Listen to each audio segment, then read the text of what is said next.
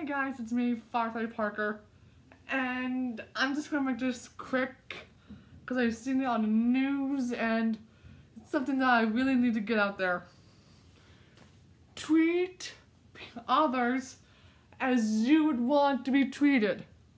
If they treat you, if you treat them nice, guess what? They will treat you nice too. So, treat others with respect and they will treat you with respect. Okay? Thanks for watching.